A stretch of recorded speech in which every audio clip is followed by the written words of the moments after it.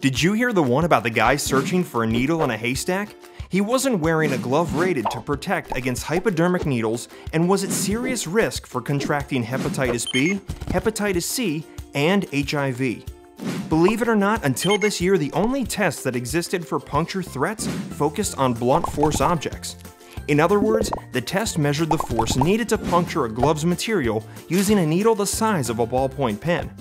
While this test was great for people working in industries like glass manufacturing or lumber, places where the risk of broken glass and wood slivers are a constant hazard. The test didn't take into account threats from medical needles, which is a serious danger in industries like waste management, law enforcement, and healthcare. That's where the ASTM F2878 standard comes in. The test still determines the force needed to puncture a glove's material, but it uses a 25 gauge probe. That's the size of a hypodermic needle. Now, I know what you're thinking. But video announcer guy, why would you test a glove designed to resist blunt force puncture with a really thin needle? It would never work.